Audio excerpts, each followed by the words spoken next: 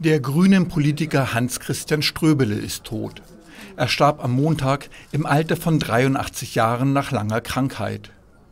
In einer Erklärung seines Anwalts heißt es, Ströbele habe sich entschieden, dass er den langen Leidensweg, den ihm seine Erkrankung zugemutet hat, nicht mehr fortsetzen wollte und lebenserhaltende Maßnahmen reduziert.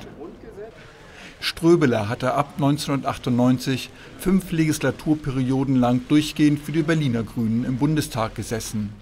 Als erster Grüner gewann er ein Direktmandat.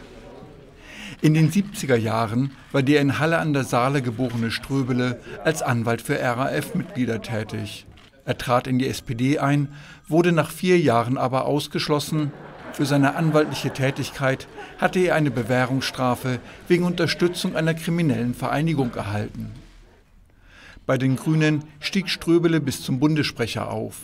Außerdem war er einer der Mitbegründer der Tageszeitung Taz